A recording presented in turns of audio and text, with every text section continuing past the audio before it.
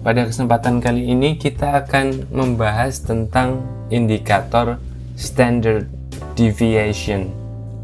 Indikator standard deviation atau standar deviasi adalah istilah statistik yang mengukur jumlah variabilitas atau dispersi di sekitar sebuah rata-rata. Standar deviasi juga merupakan ukuran volatilitas. Secara umum, dispersi adalah perbedaan antara nilai aktual dan nilai rata-rata. Semakin besar dispersi atau variabilitas ini, semakin tinggi pula standar deviasinya. Semakin kecil dispersi atau variabilitas ini, maka semakin rendah juga standar deviasinya. Chartis atau analis dapat menggunakan standar deviasi untuk mengukur risiko yang diharapkan dan menentukan signifikansi pergerakan harga tertentu. Nilai standar deviasi bergantung pada harga saham yang mendasarinya.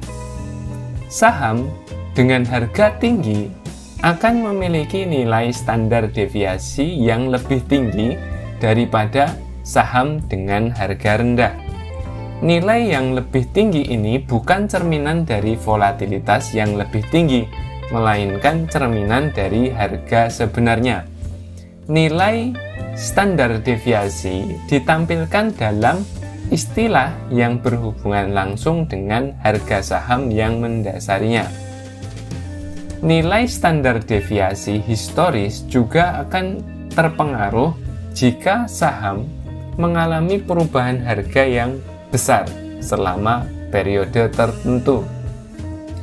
Saham yang bergerak dari harga 10 ke 50 kemungkinan besar akan memiliki standar deviasi yang lebih tinggi dibanding ketika saat harga bergerak dari 50 ke angka 10.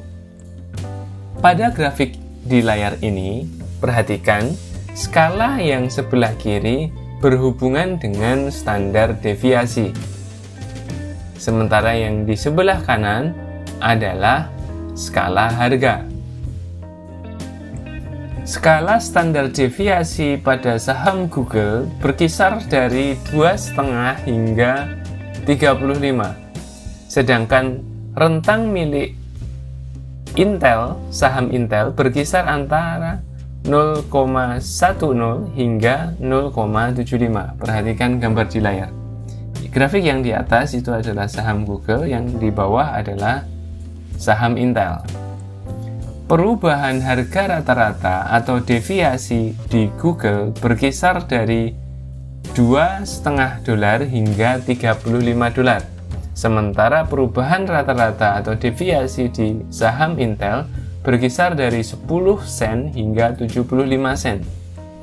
Terlepas dari perbedaan rentang ini, Chartis dapat secara visual menilai perubahan volatilitas untuk setiap saham. Volatilitas di saham Intel ini yang di bawah ini meningkat dari April hingga Juni karena standar deviasinya bergerak di atas 0,70 berkali-kali.